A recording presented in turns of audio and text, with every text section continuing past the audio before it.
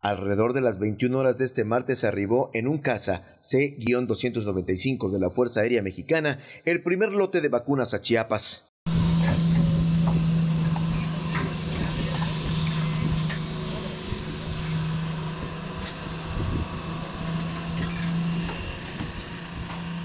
Personal de la Sedena, Semar y Guardia Nacional se encargó de descargar el primer lote de 9.750 dosis de un total de 45.000 dosis de la vacuna contra la COVID-19. El gobierno mexicano recibió un lote de 439.725 dosis del fármaco de Pfizer y BioNTech, el primer gran cargamento de vacunas de COVID-19, con el que el presidente Andrés Manuel López Obrador iniciará una campaña masiva.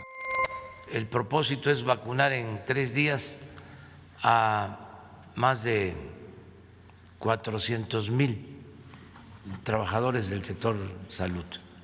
Terminando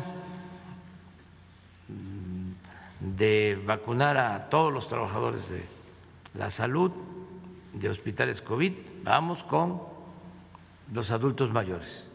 El médico Dorian Núñez recibió la primera dosis de la clínica COVID instalada en el Poliforum Mesoamericano en Tuxtla Gutiérrez. Al respecto, Jesús Espinosa de los Santos, secretaria general de la sección 50 del Sindicato Nacional de Trabajadores de la Salud, explicó que son 22 mil trabajadores del sector que conforman la plantilla laboral. Sin embargo, el primer lote que arribó al Aeropuerto Internacional Ángel Albino Corso es de 9.750 dosis.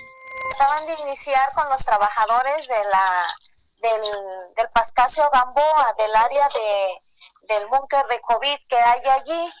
Y terminando con ellos, este, localizar, hay una lista de trabajadores que están en estado de vulnerabilidad es el segundo grupo que, que, este, que, van a vacunar el día de hoy. En Chiapas se instalaron 12 clínicas para la atención de la pandemia por COVID-19 y en las primeras horas de este miércoles se aplicó a personal de estas clínicas. Y hoy, por la mañana, también se aplicó a la guardia del Hospital Regional Dr. Rafael Pascasio Gamboa.